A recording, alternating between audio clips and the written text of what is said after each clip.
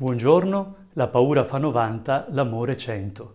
Sì, l'amore, ma quello vero. C'è una parola che ricorre spesso nel linguaggio odierno e che deriva dal mondo della tecnica. È resilienza. La resilienza è la capacità di un materiale di non cedere alle forti pressioni. Messo a una dura prova d'urto, resiste e non si rompe.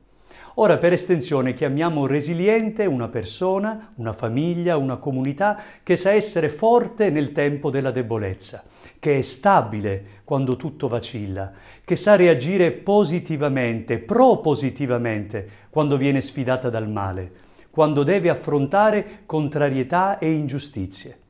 Non c'è amore più resiliente che l'amore di Dio.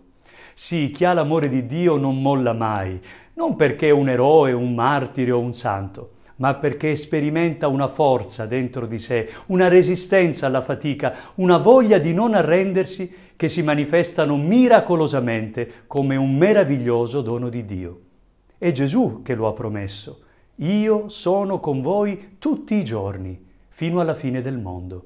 Gesù non ha detto sarò con voi, ma sono con voi. Il suo amore non è qualcosa che deve ancora venire, che potrebbe o non potrebbe esserci dato. Questo amore è in noi, è vivo, è pronto. Non rendiamolo sterile o impotente. Facciamo allora appello a questa promessa di Gesù quando siamo in difficoltà o ci sentiamo soli, vinti, e vedremo di cosa è capace l'amore di Dio nella nostra vita. Amore vero, 100%.